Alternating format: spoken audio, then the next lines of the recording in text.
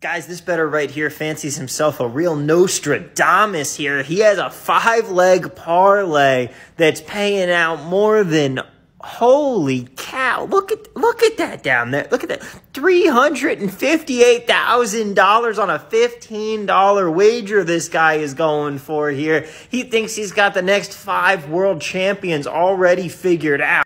Starting off at number one here, he's going with some chalk with Alabama at plus 180. All right. I mean, they're always the best possible bet that you could be making to win the college football championship. So I'm going to be rolling with him there. He's got me. Next up, the Stros at 6 to 1. Not exactly the top favorite right now, but always a good bet. The Astros, Lord knows, have been on the revenge tour since, you know, that whole scandal a few years ago broke. I think that they could definitely win this. This is where you start to lose me here, buddy. I feel like you wanted to throw in another favorite here and you didn't really take too much history into account. France, yeah, they won the last World Cup. They're the reigning champions.